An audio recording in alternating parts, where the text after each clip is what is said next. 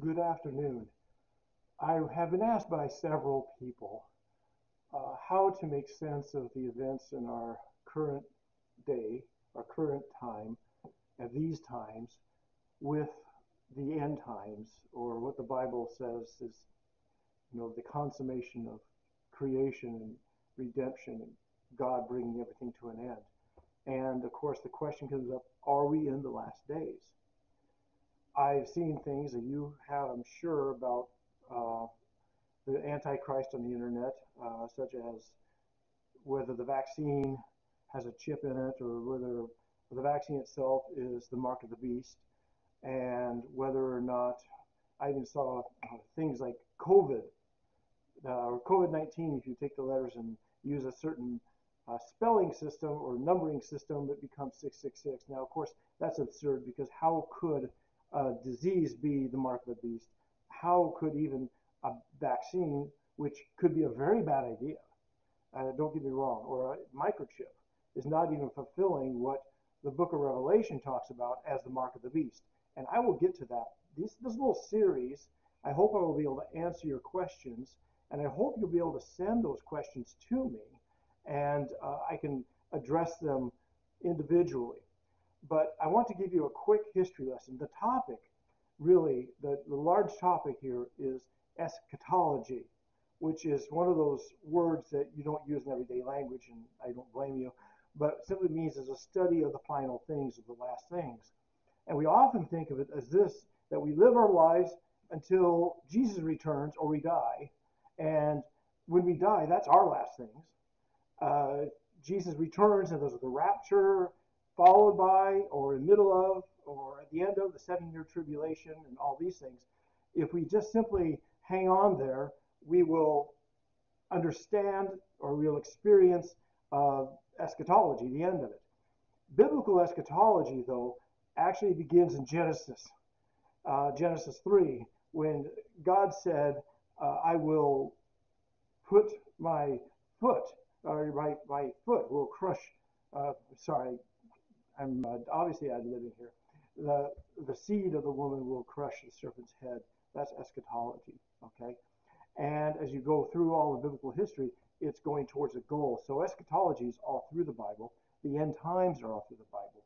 But we have a unique problem here in the Western church, Western Christianity, and as we've exported Western Christianity as missionaries, doing a great task of bringing people into the gospel, bringing people into the kingdom. But we have been taught for about 200 years since the foundation of dispensationalism, which is Darby, and you not, not have heard of him, but you probably have heard of the Scofield Reference Bible and others teachers who teach dispensationalism, which is something that we, the church, has not really believed except for the last 200 years. And what it means is essentially this world is a complete wipeout, a complete washout. There's nothing in this world we should be concerned about. We should simply be concerned about our own personal piety. Uh, we want to evangelize and we want to bring people into the gospel, into receiving Jesus and following him, but it does not have much impact on how we live our lives. We live our lives ethically but it doesn't have much impact. The gospel doesn't have much impact, say, if you are a, a nurse or an attorney or a cabinet maker or an electrician or a plumber.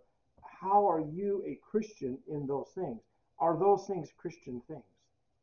Martin Luther brought back the idea of Christian vocation, that a vocation was your calling, and the calling of a pastor is no higher or no lower than the calling of a shoemaker or a barber. And so we need to re- recapture that idea and turn away from the idea uh, that we've had so uh, seen so much in popular Christian movies like the Left Behind series, uh, where suddenly all the Christians are gone, and then there's this terrible tribulation. And the speculation that goes on through this is massive and extensive for instance, if you want to show me from the Bible where the Bible says there's a seven year tribulation period, send an email to me. and tell me where it says that. Because uh, if you're like many Christians, you think, well, yes, there's a seven year tribulation coming. Is this, is this the start of it? Is Donald Trump the Antichrist? Or is Joe Biden the Antichrist? Or, or uh, Brian Mulroney? Or, well, that's a day in me. Uh, is uh, Justin Trudeau the Antichrist? Do you know Martin Luther believed the Pope was the Antichrist? And everyone believed that Hitler was the Antichrist or Mussolini or some other character. And all through history, we have these things that really just embarrass the church. And they, we make these predictions and these declarations, forgetting that the word Antichrist only occurs in the letters of John, not even in the revelation of John, and speak of those who deny Christ, the Antichrist. And John said they were already present in his day. So I want to walk us through what the end is about. And I want us to realize that God has a plan for this earth. We do not simply say this world does not matter and we're just going to squeeze through it. And I'll tell you why it's really important. If you care about your children and your grandchildren and your great grandchildren's salvation, we must not assume that if the world is going to hell on earth while we're here, that they will hear the gospel and they will be able, uh, they will heed the gospel and they will become disciples. We are not sure of that. In the 1950s and 60s and 70s, it was much more likely because the culture was friendlier to the gospel that you could see your children become Christians. But that is not a given in the same way it was then. Culturally, we are on the outside, and yet the culture belongs to Jesus. So I want to make several things really clear that our belief in the end times, anything about that, has to stand on the doctrine that Jesus is Lord of all creation. He is Lord of everything, not just some things. He's not simply Lord of the church, he is Lord of Parliament and Congress and every ruler on earth. He is Lord over the communist China. He's Lord over Saudi Arabia, Iran, and Iraq. He's Lord over Nigeria. And those are some things we have to keep in mind. If you've ever said or heard say that worrying about this world is similar to shuffling the deck chairs on the Titanic, presumably after it hit the berg, and in other words, futile, then you are thinking like a dispensationalist, like a pietist is really the word. And that pietism is how the church stood by when Adolf Hitler came to power and the church did nothing and said nothing. Today we have a church that's much more vocal, which I appreciate, and not everything we say is helpful. But we need to keep in mind that God is concerned about the hearts and souls of every parliamentarian. And when a man or woman in power becomes a Christian, then that man or woman has an obligation to execute their office as a Christian. And those who are not Christians have an obligation to obey the law of God, even if they deny the law of God. Everything that draws breath, everyone that is alive, is obligated to the law of God and will be judged that way. Those are some basic things, and I'll return to those themes as we go through this, but I want to start with some things that are kind of foundational. When I was very young and I was uh, really into that whole eschatology thing, but I didn't understand it because really the way it's presented is very hard to understand from a, a sound Bible reading way. If you read the Bible carefully or simply, you won't get a seven year tribulation ever. Like you, you, can look for it, you won't find it. It has to be done with some kind of calculus. Uh, and I'll show you what that is, or figure, or guessing what uh, the mark of the beast is going to be. You know, 666 and what that means. I will get into that. But I want to look at just a few passages of Scripture today that will maybe help us uh, to understand that. So, our Scripture passages, and, and you think, well, Revelation is where everything's at, right? Well, no, you need to look at Daniel, Ezekiel, and especially Matthew. Oh, Luke as well, but Matthew is very helpful. Matthew uh, 23, 24, and 25. And I don't like to take you away from your Bibles. So I want you to look these, well, we'll look up a couple of these passages, but I'm not going to simply read Matthew 24 to you. That's a, that's a long passage. But I want to highlight something to you uh, for you today, and then we'll move on from here. If you have any trouble hearing this, or this isn't a very clear recording, please let me know. I'm using some new equipment, and I depend on feedback on how this is going. If I'm talking too fast, if I look too funny, uh, anything like that, I, I could use your help with that, okay? So our scriptures, first of all, is Matthew 23, 36, ESV, English Standard Version.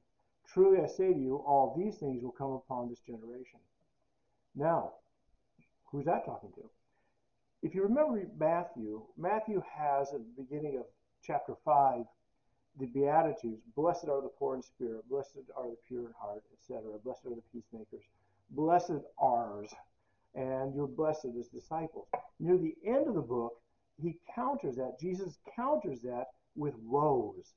Woe to you, scribes and Pharisees. And he has quite a list in chapter 23. Woe to you at all these things. There's actually there's seven woes starting in chapter 23 of Matthew. You do very well to read those.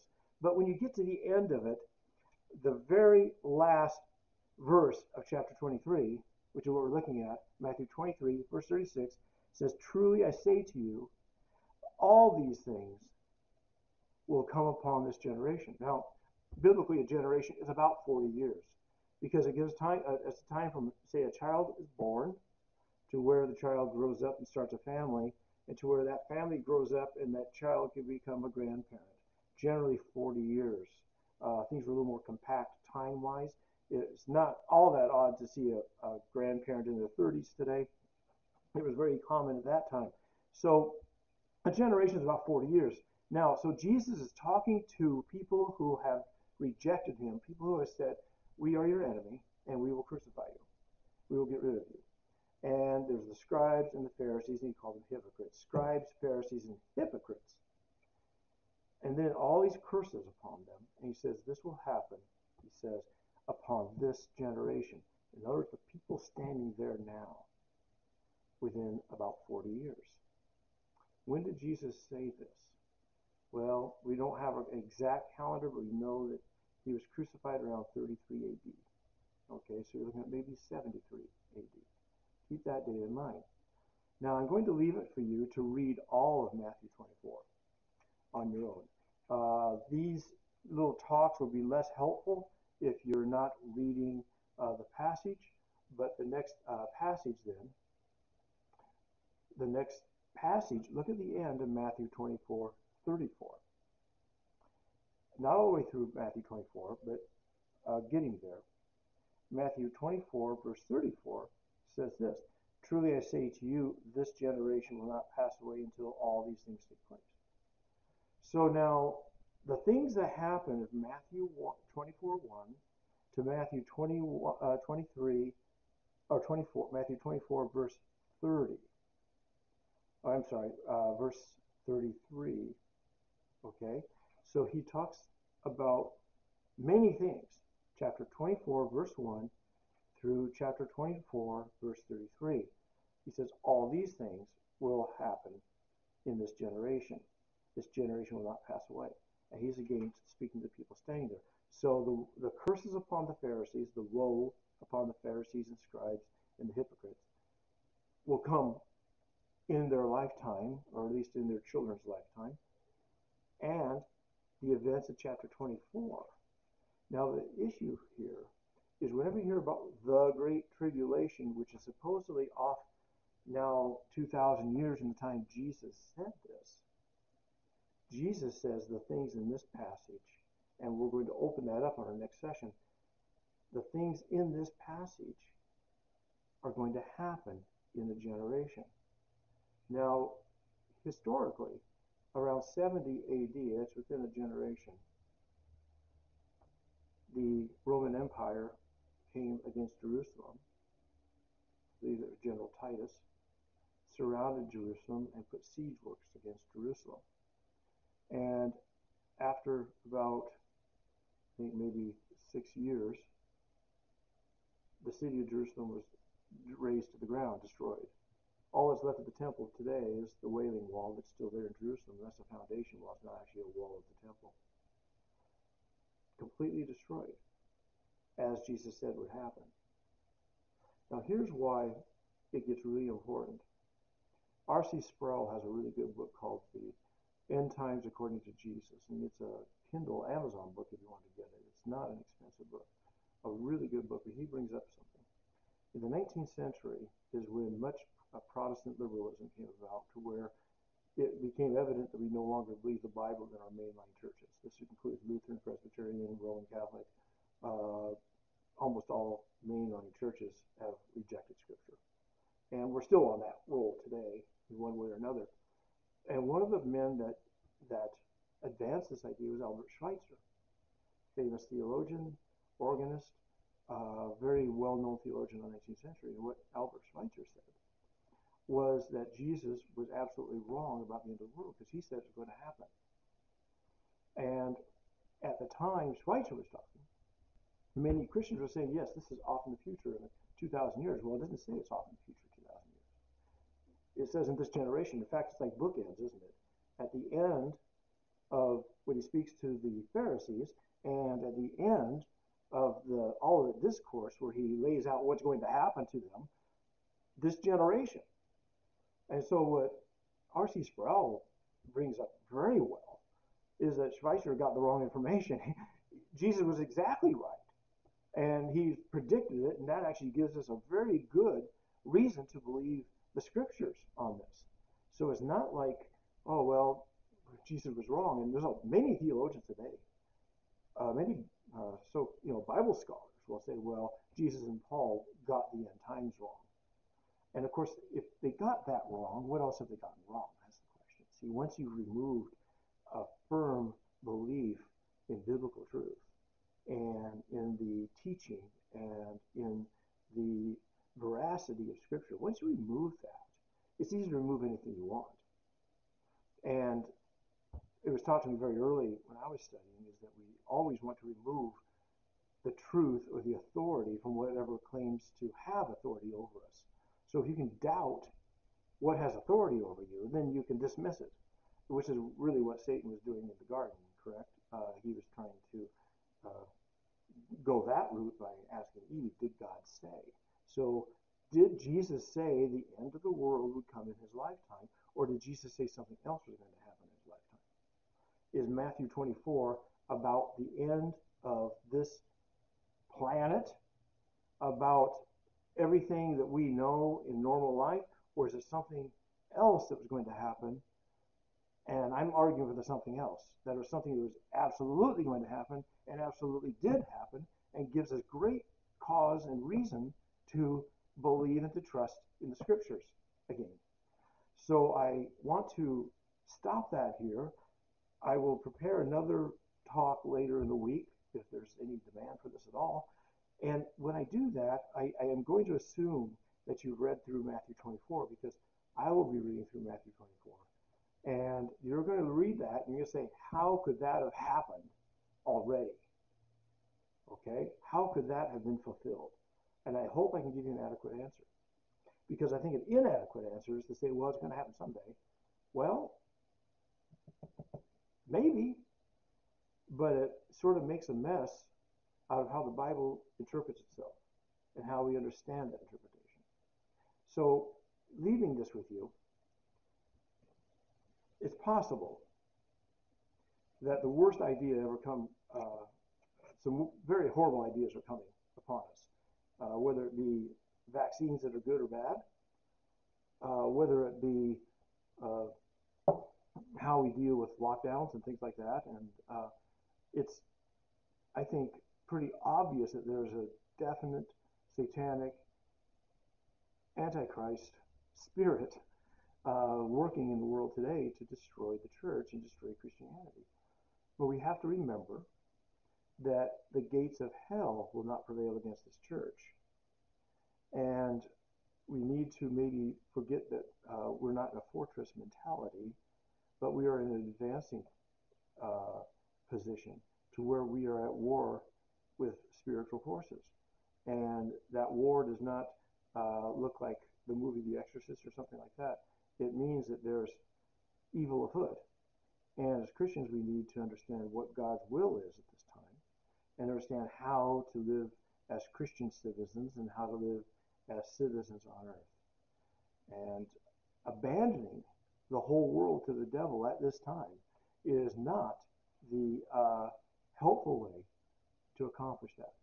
So if you want to contact me, uh, you're going to see this on YouTube, and I will put my email address on that. You can also look at my webpage will be links to this and other things at scottljacobsen.com. And you're, you're guaranteed to spell that wrong. So I'll do it for you. Scott is S-C-O-T-T, two T's, L, middle initial, Jacobsen. This is the part people get wrong. J-A-C-O-B-S-E-N. Jacobsen, not Jacobson. okay. They sound the same. Anyway, scottljacobsen.com. I will have uh, attempt to get some more materials here to you uh, in the near future. Uh, goodbye and God bless.